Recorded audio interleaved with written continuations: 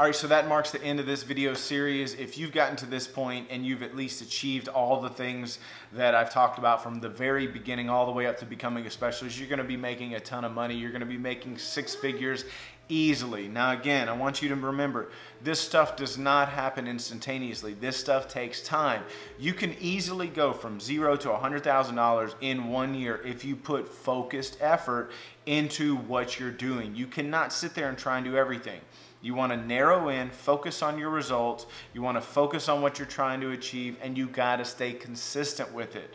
So let me know how it went for you. Let me know any input that you have in the comments below. Thanks for watching. Y'all keep crushing it.